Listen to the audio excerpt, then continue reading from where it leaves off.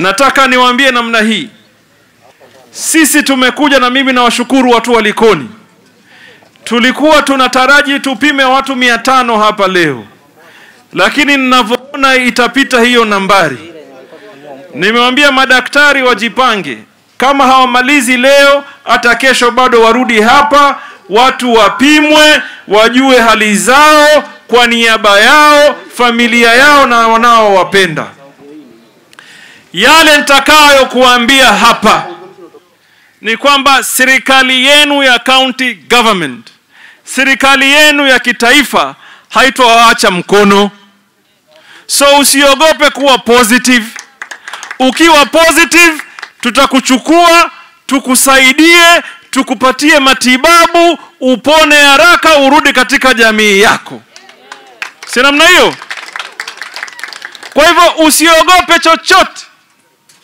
Saa hii serikali haiangalii lolote ila usalama wako, and that is why I am saying tuko hapa kwa sababu ni maisha kwanza, sivyo? And I am overwhelmed. Nilifikiri nitapata watu hapa sijui mia tatu, lakini nimeona huu msururu.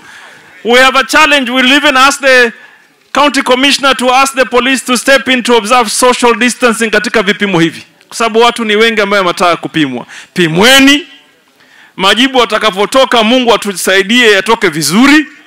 Yakitoka positive, usishtuke, tutakuchukua tukupeleke, tukutibu, tukupe msaada, msaada ambao unafanya nini, unauhitaji, sivyo? So tokeni wengi tu mpimwe, tokeni tu wengi mfanye nini, mpimwe. Msisikize wale watu ambao wanabweka sana, don't listen to them, chaneni nao, wacha wao waseme, sisi tusonge mbele. Na mimi nataka kusema vile abdusamad amesema hapa, nimeona kwenye video kuna vijana wanajaribu kuzuia ambulance. Don't joke with us, jizuie wewe mwenyewe na wale wamezuia ambulance kama wako mtaani, waambie waingie mitini, tuenda kuwafata. Na sometimes hata si tume polisi ni wafate mwenyewe, my friend. How do you stop an ambulance?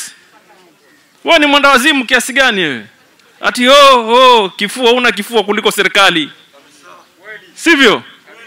So nataka niwaombe na niwashukuru, na yale yote Mishi yamesema mimi nawaambia kwa kauli yangu, kwa sababu nimekuja kuanza mass testing hapa Likoni hapa, na nimeona vile mmejitolea.